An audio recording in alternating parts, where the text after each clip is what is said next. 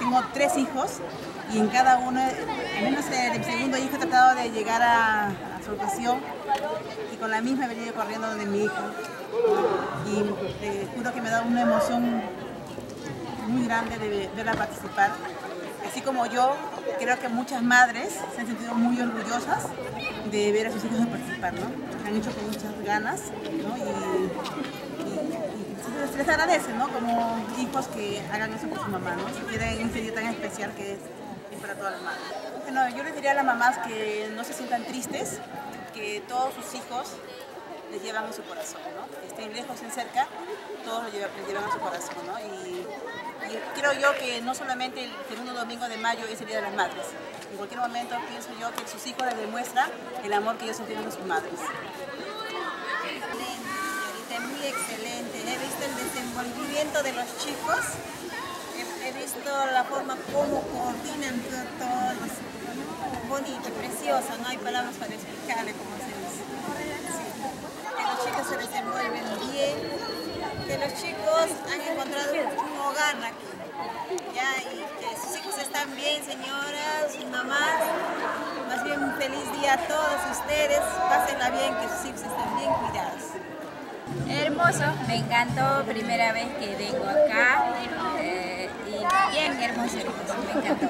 Pienso que los docentes, profesoras y profesores que le enseñan muy bien y de verdad les felicito mucho por, por esas valores que le dan tanto salud a los niños. De verdad les felicito y, feliz Día de la Madre también a todos los profesores. Que apoyen mucho a sus hijos, que les hable, que sigan adelante, porque solamente con el estudio van, a llegar ellos más lejos y así que este, les daría a todas las mamás que apoyen siempre y que estén juntos con sus hijos, sus hijas, eh, para que sigan adelante. Como en mi caso yo estaba triste en los primeros días, pero ahora estoy contenta y pienso que todas las mamás también deben estar contentas ya que sus hijas están muy bien atendidas acá, muy bien alimentados, estudian muy bien y realmente están muy bien. Es una actividad muy, muy bonita, me ha parecido, me ha emocionado bastante. ¿Por qué? Porque he sentido que los chicos han demostrado sus capacidades en el arte. Hermosísimas danzas, este, este, festejos, eh, también este, ha habido este, coros. Muy, muy, muy bonito, de verdad. Y estoy muy emocionada porque es la primera vez que me encuentro acá por el Día de la Madre, acá con mi hijo. Y este, y este les digo a los, a, los, a los papás que están lejos, que sé que están lejos porque yo también he estado lejos en ocasiones, en años anteriores, ¿no? Les digo que se sientan contentos, las mamás sobre todo, en este día que es tan especial que es el domingo, que se sientan contentas porque sus hijos acá están en buen, muy, muy buen lugar, están muy cuidados, eh, están este, aprendiendo muchas cosas que los dejen, que ellos, yo sé que están bien, yo sé que a pesar de, de la distancia ellos los, los aman, aman con todo su corazón. Y se siente acá que los chicos han demostrado y a pesar que su papá están lejos, ellos están contentos porque ellos están acá con un fin, con una meta.